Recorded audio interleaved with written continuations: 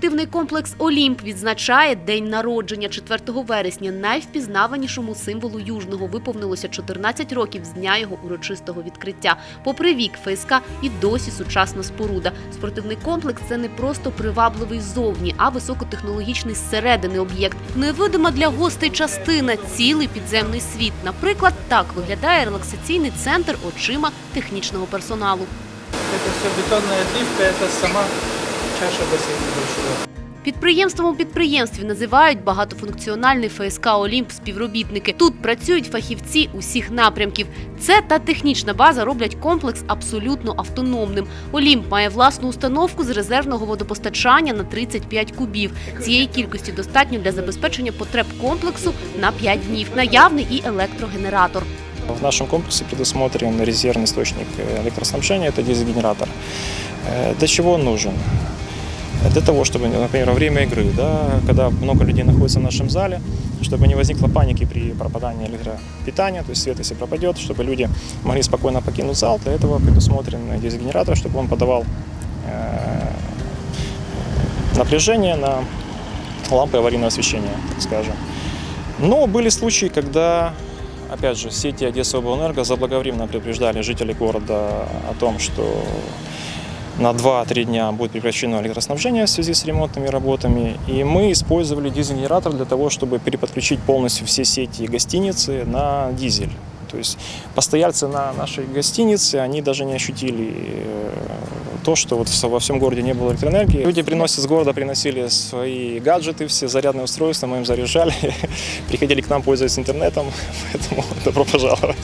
95% електрообладнання комплексу складається із приладів німецького концерну Siemens. Як зазначають фахівці, за 14 років заміні підлягали лише лампи. Усе інше обладнання достатньо планово обслуговувати. Олімп став першим після палацу культури об'єктом в місті, на якому було встановлено сонячні колектори, але вже у великій кількості. Батареї на даху дають можливість влітку економити до 90% теплової енергії, яку виробляє котельня. Наразі фахівці Олімпу працюють над тим, аби повністю відмовитися від газопостачання у теплу пору.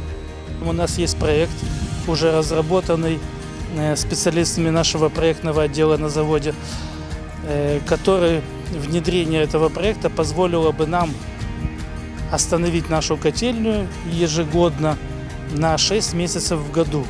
Это с э, середины апреля по начало октября. Мы планировали установить, если получится это сделать, тепловой насос, который будет использовать энергию, которая освобождается, тепловую энергию э, при эксплуатации установок кондиционирования. У нас два есть больших охладителя, которые выбрасывают, вот они находятся, которые выбрасывают тепло из контура конденсатора холодильных установок просто в воздух.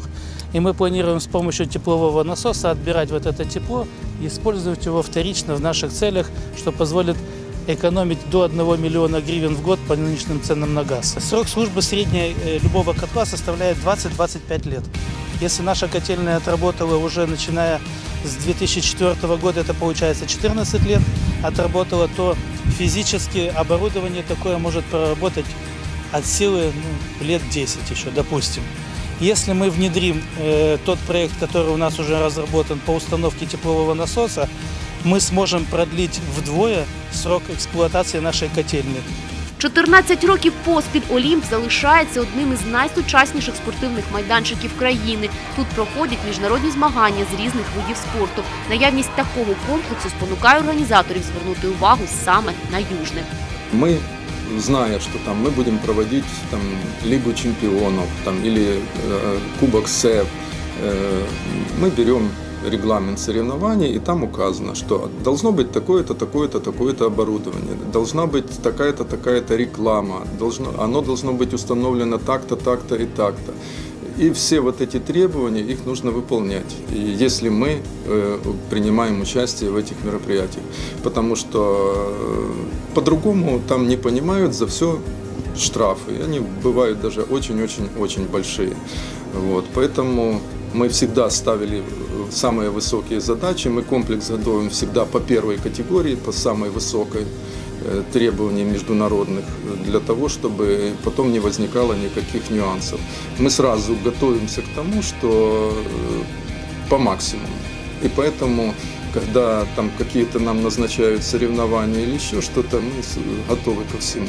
У нас э, зал сертифицирован, э, пол сертифицирован. Вот мы вскрываем лаком, который имеет сертификат качества и допуска к определенным э, соревнованиям.